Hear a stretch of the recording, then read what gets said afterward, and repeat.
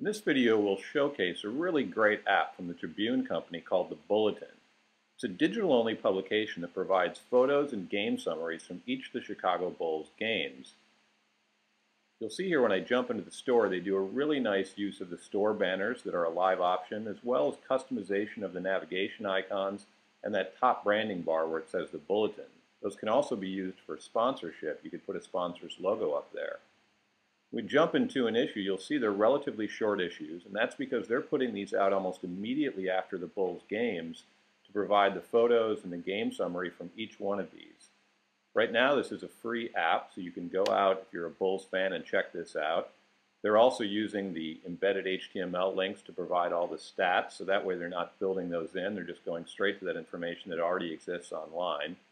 You can see they're really taking advantage of the iPad's ability to show off these beautiful photos. There's so much material they're gathering around these games that don't make it into the newspaper or in other outlets they have to cover these, but they can do in these kind of daily magazines perfect for fans. You can see they also end each uh, issue with a preview of the next game that's coming.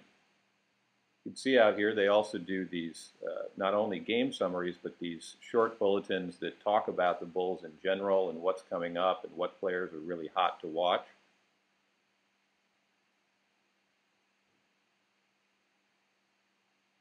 And show a calendar of upcoming events. So check out The Bulletin, free out in the iTunes Store.